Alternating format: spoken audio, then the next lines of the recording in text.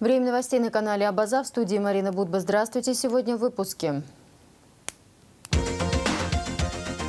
Ограничение в силе 5 октября вступило в действие распоряжение президента Абхазии об установлении отдельных мер по защите населения от коронавируса. Нелегкая борьба за легкие. Наша история про молодого лаборанта и рентгенолога Александра Попова из Екатеринбурга. 103 репертуарных спектакля, несмотря на пандемию. Русдрам подвел итоги 39-го театрального сезона. Информация оперативного штаба по защите населения от коронавирусной инфекции. Ситуация на 5 октября следующая. За прошедшие сутки тестирование на коронавирусную инфекцию проведено у 192 граждан.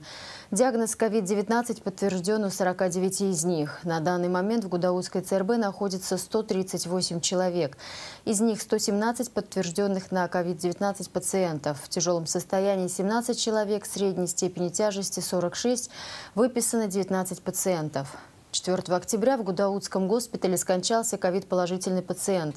1947 года рождения, поступивший в стационар Гудаутской ЦРБ 23 сентября с двусторонней полисегментарной пневмонией. Несмотря на проводимую терапию, состояние больного ухудшилось, и он был переведен на аппарат ИВЛ. Однако 4 октября пациент скончался от нарастания дыхательной и сердечной недостаточности. У мужчины были тяжелые сопутствующие заболевания сердечной и легочной системы. 5 октября в Гудаутском госпитале скончался ковид-положительный пациент возраста 64 лет, поступивший в реанимационное отделение Гудаутской ЦРБ за 40 минут до смерти с тяжелой дыхательной и сердечно-сосудистой недостаточностью на фоне тотальной двусторонней полисегментарной пневмонии. Больной немедленно был вскоре подключен к КВЛ, однако, несмотря на все проводимые реанимационные мероприятия, мужчина вскоре скончался от нарастания дыхательной сердечной недостаточности. Общее число выявленных заболевших коронавирусом в Абхазии на сегодняшний день составляет 1765 человек. Выздоровело 640 человек, 15 летальных случаев. Ограничение в силе 5 октября вступило в действие распоряжение президента Абхазии об установлении отдельных мер по защите населения от коронавируса. Между тем, Государственный музей и Дом культуры в Ткварчале закрыты из-за вспышки коронавируса в коллективах. Такое решение Министерства культуры и администрации Ткварчалского района приняли, несмотря на распоряжение президента, разрешающего работу учреждений культуры. При этом тем же распоряжением с 5 октября запрещены свадьбы, а также любые массовые мероприятия в закрытых помещениях, а водители общественного транспорта, продавцы, сотрудники кафе и ресторанов обязаны носить маски, перчатки, проводить ежедневную дезинфекцию рабочих мест. Подробнее расскажет Надежда Боровикова. 5 октября в силу вступило распоряжение президента Абхазии об установлении отдельных мер по защите населения от коронавируса. Первым пунктом – запрет на проведение массовых спортивных, развлекательных, зрелищных и выставочных мероприятий в помещениях, а также свадебных и иных торжеств. Реализация первых пяти пунктов возложена на администрации районов, городов и сел. Поскольку, поскольку распоряжение вступило с сегодняшней даты, в настоящий момент работа продолжается, в первую очередь по уведомлению, по информированию хозяев тех или иных объектов по э, недопустимости, недопустимости скопления э, людей в закрытых помещениях, то есть работа продолжается и по сей день. С кем-то связаться не удалось, но тем не менее мы понимаем, что сегодня только первый день, поэтому все еще впереди, и работа требует планомерного, системного подхода. Э, дело в том, что не все еще до конца понимают серьезность складывающейся ситуации, но можно сказать, что это не только наша э, местная специфика, к сожалению, так во многих странах мира изначально было. Второй пункт постановления – рекомендация ограничить количество лиц, принимающих участие в траурных и поминальных мероприятиях. В этом вопросе столичная администрация рассчитывает на сознательность граждан и поддержку общественных институтов. Э, я бы хотел подчеркнуть, что администрация э, в своей части, в части своей компетенции регулировать напрямую данный процесс не может, она может его регулировать совместно с различными общественными организациями. Хотелось бы подчеркнуть, что здесь очень важно на этом этапе подключить и Совет старейшин, и Общественную палату, и в той части, в которой мы можем этому содействовать, мы, конечно же, посодействуем. Безусловно, не стоит ожидать того, что администрация будет обзванивать людей или приходить домой и что-либо запрещать. Мы понимаем, что мы все-таки живем в Абхазии здесь есть своя специфика. И в части, касающейся именно э, траурных, различных торжественных мероприятий, очень большое значение имеет в первую очередь сознательность самого населения и э, работа так называемых общественных институтов. Объекты общественного питания с 5 октября должны обеспечить расстановку столов на расстоянии не менее полутора метров и обязать персонал носить маски и перчатки. Также администрации продуктовых, сельскохозяйственных и вещевых рынков должны ежедневно проводить дезинфекцию своих территорий и обязать продавцов носить маски и перчатки. В части, касающейся работы э, объектов розничной торговли и общественного питания, также ведется работа по информированию их владельцев по необходимости соблюдения тех ограничительных мер, которые введены. У нас уже опыт определенный есть. Э, ранней весной, э, в начале лета мы проводили рейды. В принципе, люди, они знают, о чем идет речь.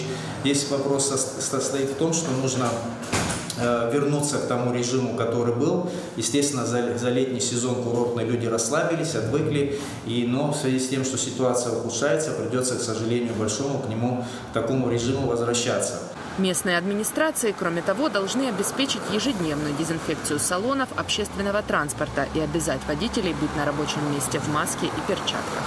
Еще с первого числа текущего месяца мы уже ввели определенные ограничительные меры по функционированию общественного транспорта. Это касается и необходимости наличия у водителей масок, это касается и определенной рассадки пассажиров, так называемой шахматной рассадки для, для недопущения близкого контакта между собой.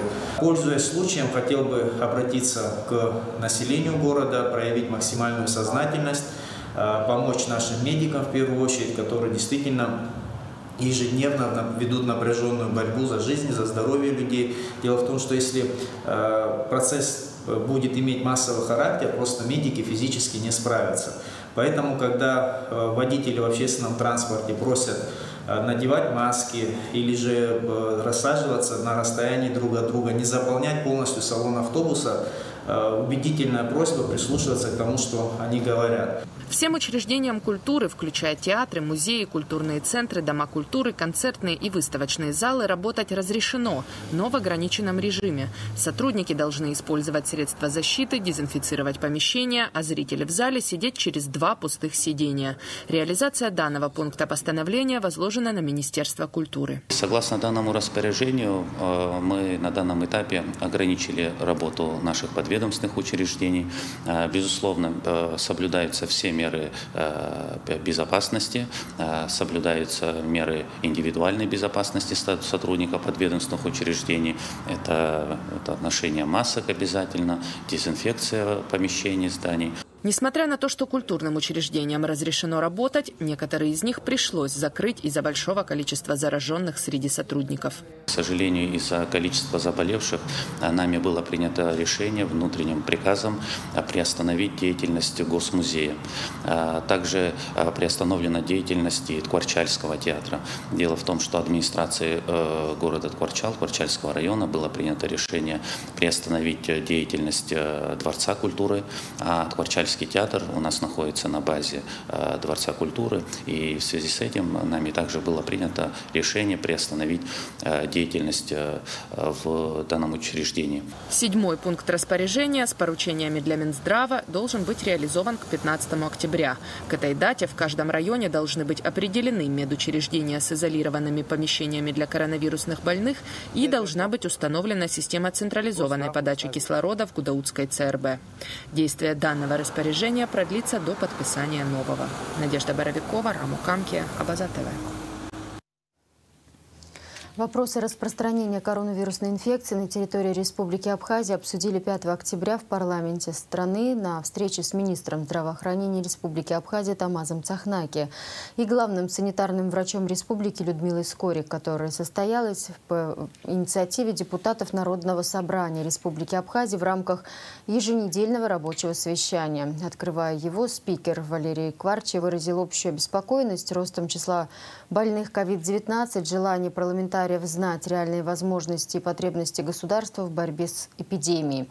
Депутаты заслушали министра, который представил статистические данные о количестве выявленных заболевших коронавирусом в Абхазии, подробно рассказала о проблемах и первоочередных задачах, стоящих перед Министерством здравоохранения. В ходе встречи, как сообщает пресс-служба парламента, было предложено вернуться к мерам, которые были предприняты и действовали в апреле текущего года. Многие депутаты отметили, что поддержат Министерство здравоохранения, если оно обратится к исполнительной власти и с более жесткими рекомендациями. Очаги карантина в понедельник, 5 октября, после двухнедельного карантина открылась Сухумская школа номер один, четвертая, наоборот, ушла в карантин. В столичной школе номер два шесть классов находятся на самоизоляции. Три детских сада – Соловей, Гунда и Сказка в Сухуме также закрыты из-за болезни воспитателей. Как удается в такой ситуации вести учебный процесс, выясняла Мариана Котова.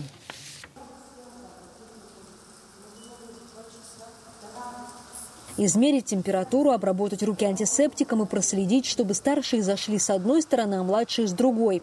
Обязательные условия работы абхазских школ в период пандемии, которые строго выполняются в каждой школе. Сухумская школа номер один две недели была закрыта из-за большого числа заболевших COVID-19 учителей и учеников. Директор до сих пор находится на самоизоляции, но решение открыть школу все-таки приняли. Дети, конечно, никак не могут собраться, потому что если посудить, то это уже многомесячный месячный отпуск, правильно? И дети, конечно, очень многие, не все родители могут помочь своим детям даже при желании. Кто-то, скажем, достаточно образован, но работает, правильно? И потому, конечно, дети немножко пока в колею войти им сложнее, чем обычно. Нона Лючева руководит восьмым классом, в котором 30 учеников. Сегодня на занятия пришли 12 из них. По словам педагога, не все родители готовы отпускать в школу детей, зная об эпидемиологической ситуации в столице. В моем детей сегодня из 30 пришло 12 человек. 8 а человек у меня на карантине. Ну, есть те, которые, конечно, боятся, и мы не вправе настаивать. Не будут предоставлять справки. Есть кто уже переболел, и, слава богу, сегодня уже вышел. Во второй Сухумской школе вход всем взрослым запрещен, поэтому интервью с директором мы записывали на улице. Несмотря на все меры предосторожности, которые здесь соблюдают, шесть классов в настоящий момент находятся на самоизоляции. Четыре, потому что в них заболели дети, и два из-за болезни учителей. Вот осталось э, у нас три недели до осенних каникул. Я думаю, что сегодня даже побольше детей, чем были в четверг и в пятницу. Э, кто-то уже выздоровел, простудные заболевания. Не все классы заболевшими детьми отправляются в карантин. Иногда время на диагностику бывает упущено, и оказывается, что две инкубационные недели класс уже отучился. В таком случае детей оставляют в школе. Но при свежевыявленных случаях COVID-19 детей отправляют на удаленку. Мы все понимаем, большая загруженность лаборатории, дети не все могут сразу получить или положительный, и отрицательный тест. И поэтому с того момента, как ребенок был последний раз в школе, проходит 10-12 дней. Не всегда уже это целесообразно. Мы, конечно, наблюдаем за детьми и отправлять на карантин после двух недель, в принципе, смысла уже нет. Весь карантинный период проходит. Те, которые э, сразу нам в течение двух-трех дней сообщают, о заболевании ребенка, мы классы отправляем на карантин. Как показал весенний карантин, говорит Ирина Паверскер, абхазские школы не готовы к дистанционному обучению. Техническое оснащение учителей и учеников, а также качество интернета не позволяют полноценно проводить онлайн-занятия. Из 30 классов всего лишь ну, 14-15 подключались, потому что кто-то в деревню уехал. Во-первых, интернет у нас, э, какой бы хороший провайдер не был, вот, например, у меня система установлено. Это не, все равно, э, когда подключается большое количество детей, зависает интернет, у нас нет нормальной образовательной платформы. Мы пытались пользоваться российской вот это uchi.ru, но тоже она зависает. Э, в России не то, что у нас. И у детей нет э, с телефона, ну, допустим, у меня есть возможность не у всех ноутбуком пользоваться. У детей единицы, у кого есть планшеты, а с телефона всю информацию получать очень сложно. Поэтому учителя надеются на непрерывность учебного процесса, так как качество знаний, полученных удаленно, весьма сомнительно. Обычное обучение предусматривает обратную связь учитель-ученик. Получать обратную связь тоже очень сложно. Ребенок, допустим, выполняет задание, фотографирует э, э, и пока присылает домашнее задание, его тоже довольно сложно проверить. И немножко пока мы не готовы. И э, материальное положение нашего населения, наших деток, к сожалению, не позволяет пока это сделать. Та же история в среднеспециальных учебных заведениях. Например, в медколледже невозможно учиться удаленно. Основные знания здесь получают на практике. Из-за длительного карантина у студентов образовался огромный пробел в знаниях. Ну, тот семестр мы, в принципе, из-за карантина не занимались. Сейчас стараемся как-то дополнительные занятия проводим, потому что нашей специальности не получается на заочное обучение. Дополнительно мы проводим после своих лекций, то восстанавливаем. Самые лучшие знания получают студенты, отправившиеся волонтерами в Гудаутский госпиталь. Как рассказала директор колледжа НАТО Тарба, ребята с воодушевлением восприняли приглашение работать в ковидном центре. Но не всех отпустили родители. Студентам это интересно, это их работа. Где-то было, наверное, и боялись, но все вместе они как-то как придя домой, они родителям рассказали, конечно, насильно мы их никого не заставляем. Как родителям сообщили, родители отказались. из 12 на лечебном факультете было, и шестеро было на сестринском. Из них одна сегодня уже приступила к работе в Гудаутской, это одна из сестер и четверо уехали лечебники из 12 человек. В колледже так же, как и в школах, если заболел хоть один студент, то на самоизоляцию отправляют всю группу. В настоящий момент в карантине находятся две группы. То если затемпературил кто-то, мы их отправляем домой. Конечно, у нас детей очень мало на сегодняшний день. Кто-то боится, не пускает своих детей. Ну, педагоги все на месте. Обычно карантин в учебных заведениях вводится при определенном проценте заболевших. Но сегодня получить объективную картину сложно, так как многие учащиеся не посещают занятия не по болезни, а из-за страха заболеть. Марианна Котова, Сосрыква Гухава, Абазатова. Заведующий лабораторией иммунологии и вирусологии, заместитель директора по научной работе НИИПИТ Академии наук Абхазии Алиса Матова приняла участие во втором форуме по преаналитике, который прошел в конце сентября в рамках Конгресса лабораторной медицины 2020 в Москве.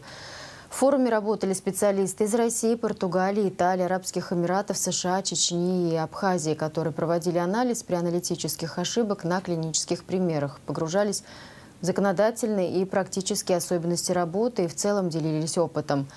Эксперты отметили, что пандемия COVID-19 изменила отношение медицинского сообщества к преаналитике, показала необходимость тщательной подготовки среднего медицинского персонала к взятию биологического материала.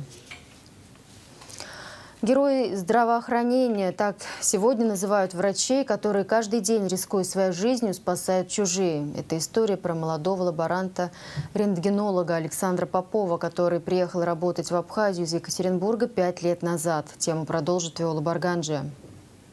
Первые на страже здоровья и в особой зоне риска. Сегодня в период пандемии профессия врача смело может стать лидером рейтинга самых востребованных специальностей. В тяжелых условиях и зачастую без выходных. Именно так проходит работа почти каждого медицинского сотрудника.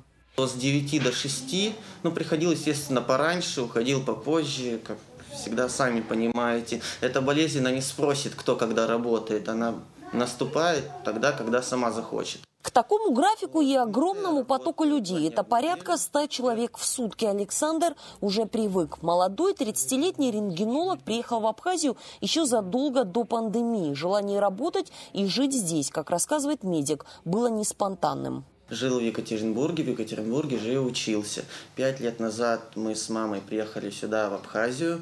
Здесь очень хороший климат, здесь море, всегда хотел жить на берегу моря, в небольшом тихом городке. Когда сюда приехал изначально, то пошел работать на скорую. Так судьба свела меня здесь поработать и пошел вот в горбольницу. Именно вот в рентген-кабинет, то есть это лучевая диагностика. Сейчас в связи с эпидемиологической ситуацией в стране Александр задействован в качестве рентгенолога в инфекционной больнице и МРТ-центре. Именно туда, по словам Александра, приходится большой наплыв пациентов. Туда командировали, но тем не менее там сейчас работает также наш сотрудник, наш специалист. Мы будем составим свой график, будем меняться. Конечно, мы людей так не оставим, это естественно. Их до 100 человек в день доходит. Это, конечно, нагрузка есть, но так как это наш долг медицинский, мы его должны выполнять. Людям ну, нужно помогать вот в этом деле. Очереди здесь, во второй городской больнице, большая редкость. Связано это с тем, что попасть сюда на рентген можно только по направлению врача. Но, несмотря на это, спокойно дежурство у Александра не проходит. Телефонные звонки от пациентов не утихают ни на минуту. А беззвучный режим только за редким исключением. Например, как сейчас. Быстро дать интервью и приступить к привычным консультациям, пусть и по телефону. Виола Барганджа, Эдуард Ракелян. Абазатовая.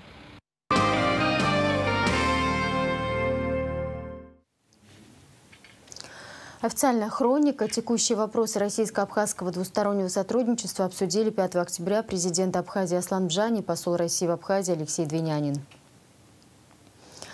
Россия профинансирует повышение зарплат бюджетников Абхазии и Южной Осетии. Министерство финансов Российской Федерации заложило в проекте федерального бюджета на предстоящую трехлетку около 3,6 миллиардов рублей дополнительных трансфертов в адрес Абхазии и Южной Осетии.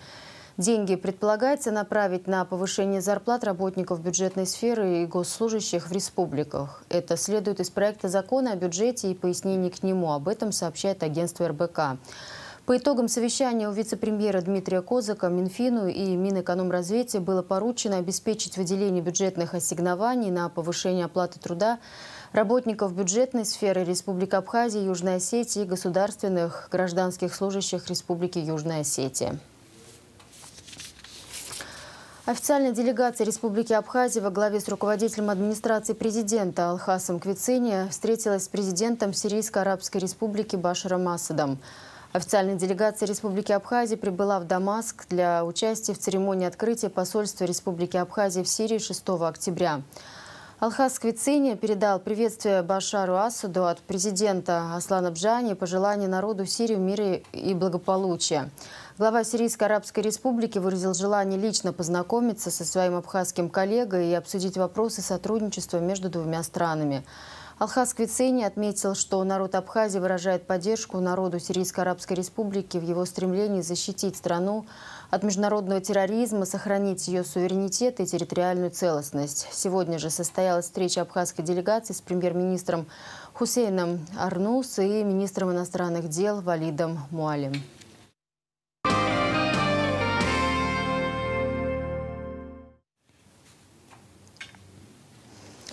О принципах работы фонда, деятельности ассоциаций в районах, их взаимодействии с фондом инвалидов войны шла речь на встрече премьер-министра Александра Анквап с руководством Фонда инвалидов Отечественной войны народа Абхазии, руководителями районных ассоциаций инвалидов Отечественной войны народа Абхазии, ветеранами войны. Поднимались проблемные вопросы обеспечения инвалидов войны медикаментами, оказание льготных услуг в сфере здравоохранения другие актуальные темы по социальным обязательствам государства перед ними. Ассоциациям инвалидов в районах будут переданы материалы проверок финансово-хозяйственной деятельности как фонда, так и ассоциаций, после чего состоится очередная встреча с премьер-министром страны. О ситуации в Нагорном Карабахе. Утром 5 октября по столице непризнанной Нагорно-Карабахской республики Степанакерту нанесли еще около 20 артиллерийских ударов, передает корреспондент РИА Новости. Взрывы раздались близко к центру города. В числе прочего использовались снаряды РСЗО. МИД Нагорного Карабахской республики сообщил, что вооруженные силы Азербайджана наносят по Степанакерту ракетные удары высокой интенсивности. Россия, США и Франция готовят совместное заявление министров иностранных дел по ситуации вокруг Нагорного Карабаха. Об этом сообщил в понедельник глава МИД Российской Федерации Сергей Лавров. Сейчас мы готовим заявление министров иностранных дел трех стран Ну и, конечно же, надо думать не только о заявлениях, а о тех конкретных шагах, которые можно предпринять для прекращения кровопролития и все-таки возвращения ситуации в русло переговоров, цитирует ТАСС министр иностранных дел Российской Федерации.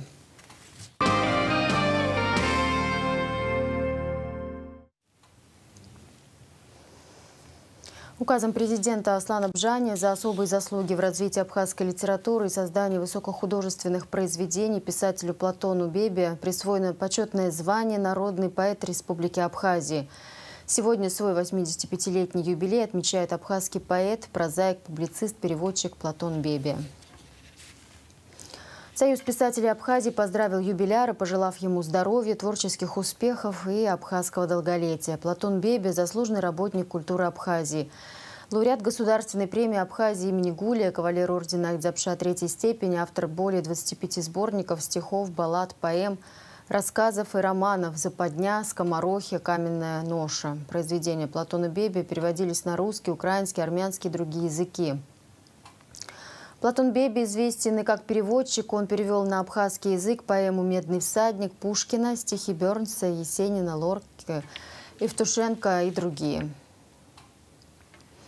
5 октября в Абхазии, как во многих странах мира, отметили День учителя. Президент Аслан Бжани поздравил учителей Абхазии с профессиональным праздником, пожелав им мира, благополучия и дальнейших успехов в воспитании подрастающего поколения в сегодняшних непростых условиях. Глава администрации города Сухум Беслан Эшба в своем поздравительном адресе учителям отметил, что успех учителей – это процветание всей страны. О том, как отмечают День учителя в условиях пандемии, в репортаже пресс-службы администрации города Сухум. Учитель соприкасается с вечностью, он никогда не знает, где заканчивается его влияние, сказал писатель и историк Генри Адамс. Эти слова передают, насколько учитель может повлиять на жизнь человека, который только начинает свой путь к познаниям чтобы у них э, хватало нервов на нас. Так ученица Сухумской третьей школы Анна Топчан поздравляет своих учителей с праздником. Она пришла в школу с букетом для классной руководительницы. Я хочу, чтобы мои учителя всегда э, были веселые, чтобы всегда э, поддерживали нас. А букет для кого? Для э, нашей классной руководительницы Тейджама. Вам хочется учиться в школе или вы предпочитаете дистанционно обучаться? Лучше учиться в школе, чем дистанционно. Ученики третьей школы в письменном виде передали пожелания своим учителям. Одну из них прочитала и начальник управления образования столицы. Благодарим мы вас за знание, нас к истине привел учение свет, не учение тьма. Спасибо. А в тех условиях, которые сложились сегодня в мире в связи с пандемией, роль учителя приобретает еще более важное значение. Управление образования города Сухум отменило в этом году торжественное мероприятие, но труд учителей не забывают отмечать. Педагоги – это творческие люди. Во всех наших школах получают наши дети хорошие знания. И э, педагоги – это вот… Э, и в этом году мы увидели, какая хорошая преемственность, молодое поколение, которое пришло в наши школы. Значит, получается, что есть образование, есть у нас а, будущее для детей, для нашего государства. Пожелаем им здоровья, терпения, удачи. Ученики третьей Сухумской школы имени Воронова подготовили видео поздравления своим педагогам, которые они просмотрели все вместе. Сегодня э, хотя бы на какое-то время забудем о пандемии и порадуемся тому, как нас поздравят.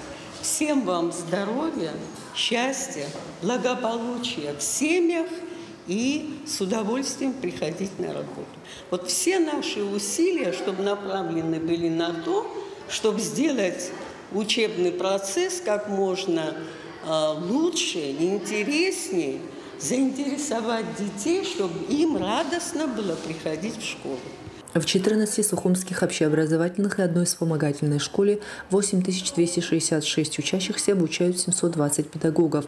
22 педагога заболели коронавирусом, четверо уже вышли на работу, другие пока лечатся.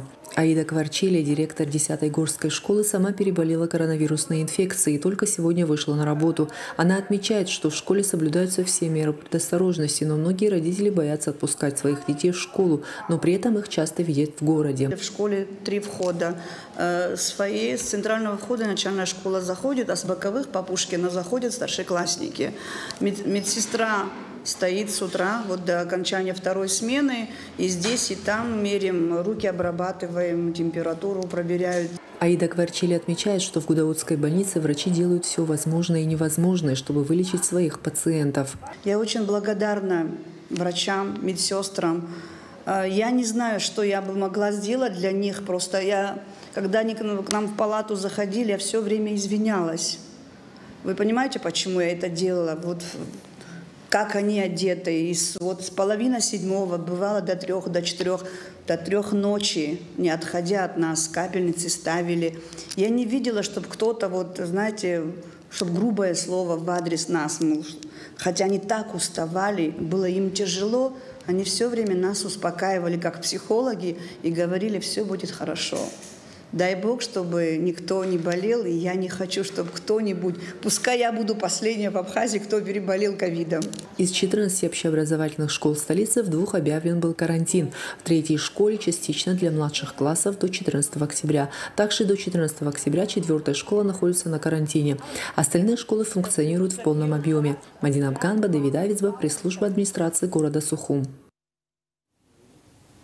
В День учителя Президиум Республиканского профсоюза работников образования, науки и учащейся молодежи также поздравляет неутомимых тружеников и воспитателей нашего подрастающего поколения с Днем учителя. Как отмечается в поздравлении профсоюза, в это сложное время хочется пожелать вам крепкого здоровья и больших успехов в деле воспитания и обучения нашей прекрасной молодежи.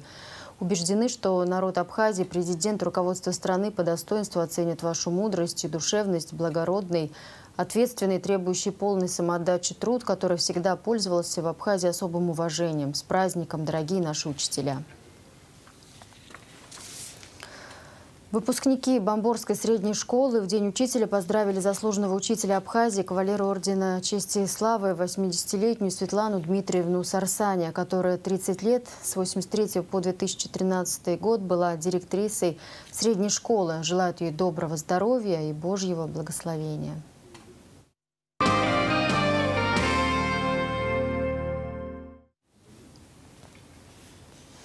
Утром 5 октября приблизительно в 10.00 неизвестные в масках и с огнестрельным оружием совершили разбойное нападение на магазин «Гумистан» на проспекте Мира в Сухуме. По словам очевидцев, угрожая продавцам оружием, грабители разбили стеклянные витрины и забрали ювелирные изделия, в основном серебряные. Как рассказали каналу Абаза ТВ в пресс-службе МВД, в настоящее время проводятся оперативно-розыскные мероприятия.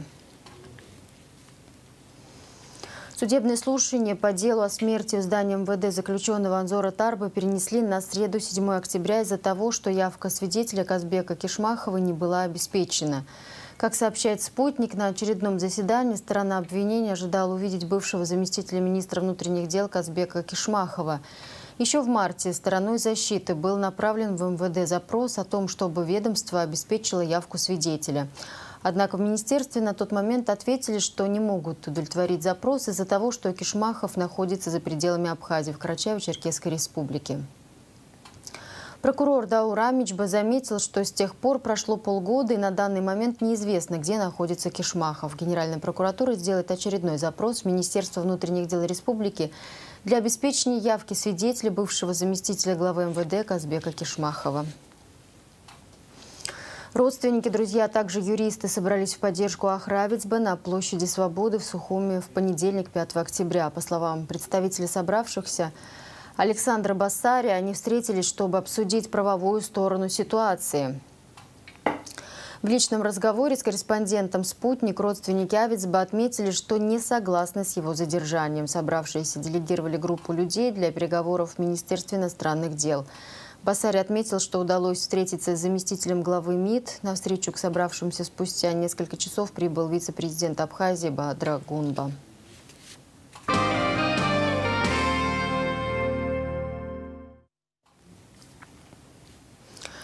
Три репертуарных спектаклей, несмотря на пандемию. Директор Руздрамы Иракли Хинба подвел предварительные итоги 39-го театрального сезона и рассказал, какие громкие премьеры ждут зрителей в юбилейном 40-м театральном сезоне. Об итогах и планах театра «Искандера» Анастасия Никонова. 15 октября Росдрам завершает 39-й театральный сезон. Несмотря на сложный год и коррективы, которые внесла пандемия коронавируса, у театра Искандера было несколько громких премьер. «Электро», «Оскар», «Дневник авантюриста», «Приключения Буратино», «Кровавая свадьба» и «Актуальная радость вопреки всему». Подводя итог 39-го сезона, директор Росдрамы Иракли Хиндба отметил, что вопреки вынужденным перерывам коллектив отыграл 103 репертуарных спектакля. Несмотря на то, что мы три с половиной месяца не могли играть спектакли, мы все-таки вот на данный момент успели сыграть 103 репертуарных спектакля. Всего, я думаю, до конца сезона мы сыграем не менее 106 спектаклей. И э, вообще всего, вот позавчера мы играли «Радость вопреки всему». Это было 500 мероприятие за, за три, ну, за неполных 4 года э, вот как бы нового этапа в жизни русского театра Абхазии, Русдрамы. Э, я не знаю таких примеров в истории театров в Абхазии, чтобы за сезон в театре проходило более 130 событий различных, ну, спектаклей в первую очередь. С 5 октября в Абхазии запрещено проведение массовых спортивных развлекательных мероприятий, исключение деятельность учреждений культуры. Иракли Хиндба отметил, что в театре будут соблюдены все необходимые меры профилактики по нераспространению COVID-19. Правда, э, культурные мероприятия не подпали под запрет, и за это благодарность руководству Абхазии. А, но мы не можем вот с 5 октября играть спектакли на полный зал. Поэтому «Кровавая свадьба» уже будет а, проводиться с учетом новой, а, новых требований к организации рассадки зрителей в зале. Мы, конечно, будем соблюдать эти требования. И вообще, в принципе, мы делаем все от нас зависящее, чтобы зрители, приходящие в театр, не думали о том, что они могут э, заразиться любым вирусом, включая коронавирус, или в принципе, что их э, безопасности, их здоровью может что-то угрожать. 39-й театральный сезон завершится спектаклем «Кровавая свадьба», а уже после будут объявлены победители зрительского голосования по итогам сезона. Названы лучшие актеры, режиссеры и спектакли «Русдрама». Мы очень просим наших зрителей э, обратиться на наш сайт rusdram.org, там есть специальный раздел голосование, баннер э, на главной странице. Вы можете проголосовать за понравившихся вам артистов, как я уже сказал, режиссеров, художников, выбрать лучший спектакль, на ваш взгляд. И вот 15 октября мы прямо на сцене театра после спектакля будем вручать эти награды. Это очень красивая церемония. Мы ждем наших зрителей э, вот в этот день, чтобы э, завершить этот э, непростой, но прекрасный 39-й э, сезон. А вот 40-й юбилейный сезон откроется премьерой. Росдрам представит зрителю моноспектакль по мотивам романа абхазского классика Баграта Шинкуба «Последний из ушедших». Это будет э, одно из, наверное, ну, я, ярких событий второго полугодия 2020 года. Э, моноспектакль моноспектакль в постановке э, Джамбула Жордания. И в главной роли Осман Абухба. Осману Абухба надо будет за час небольшим передать весь э, смысловой и эмоциональный объем этого великого романа. А, и я, вот у меня интуиция моя мне подсказывает, что это будет э, очень интересная работа. Завершая онлайн-пресс-конференцию, Ракли Хиндба отметил, что уже 7 октября в Росдраме состоится открытие фестиваля Фазилия Искандера «Стоянка человека», где пройдет предпремьерный показ фильма Аслана Галазова «Детство Чика», снимавшегося в Абхазии. Билеты на показ можно приобрести в кассе Росдрама. Анастасия Никонова, Эдуарда Ракелян, Абазатовая.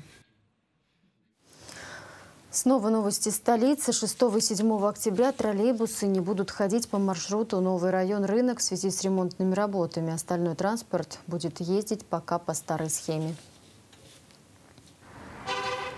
6 и 7 октября маршрутная линия троллейбуса в Новый район рынок не будет функционировать в связи с соединением троллейбусной линии с улицы Ардзенба на улицу Базинская. Об этом сообщил начальник департамента по управлению транспортом и организации дорожного движения администрации города Сухум Тимур Абгадж. Ранее мы сообщали, что в связи с ремонтом коммуникационных сетей по улице Абазинская, который займет несколько месяцев, маршрут троллейбуса в новый район рынок будет проходить по улице Айтгалара с выездом на улицу Арзенбай, далее по нынешнему маршруту по улице Абазинской. Для проведения троллейбусной линии по улице Айтгалара потребуется около месяца, поэтому администрацией Сухума было принято решение о продлении пути троллейбусов данного маршрута до района Турбазы. Там троллейбусы будут разворачиваться на улицу Акиртава и далее по линии Тхубуд-рынок пойдут до улицы Абазинской и затем по старому маршруту направятся на новый район. Такой маршрут будет функционировать до проведения троллейбусной линии по улице Айтгалара. В течение двух дней Департамент по организации дорожного движения планирует провести необходимые работы для переброски линии с улицы Ардзинба на Абазинскую и для кольцевого разворота троллейбусов на Турбазе. Мадина Абганба, Давид Авицба, пресс-служба администрации города Сухум. Спорт. В Пицунде 5 октября завершился международный турнир по боксу памяти мастера спорта СССР кавалера ордена Леона Георгия Блаб. В этом году в нем приняло участие рекордное количество спортсменов – 650. В Абхазию приехали боксеры из старых городов и регионов России, а также ДНР, сообщает Госкомитет по делам молодежи и спорту. На торжественной церемонии открытия турнира участников и гостей также приветствовали и пожелали успехов старший тренер сборной России по младшим юношам – Президент Федерации вольной греко-римской борьбы Денис Царгуш, судья Всероссийской международной категории Валерьян Орлан и старший тренер юношеской сборной команды России по боксу Николай Павлов. В завершении выпуска о погоде.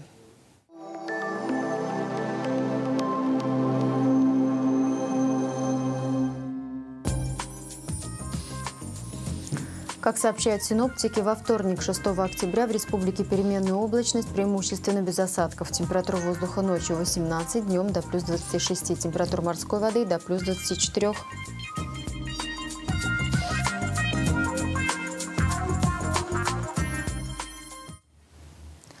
На этом пока все. За развитием событий следите вместе с нами и до встречи.